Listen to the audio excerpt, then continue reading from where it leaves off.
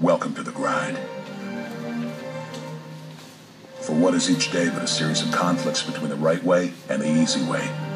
10,000 streams fan out like a river delta before you, each one promising the path of least resistance. Thing is, you're headed upstream. And when you make that choice, when you decide to turn your back on what's comfortable and safe and what some would call common sense, well, that's day one. From there, it only gets tougher. So just make sure this because the easy way out will always be there, ready to wash you away.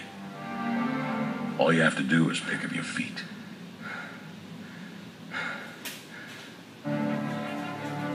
But you aren't going to, are you?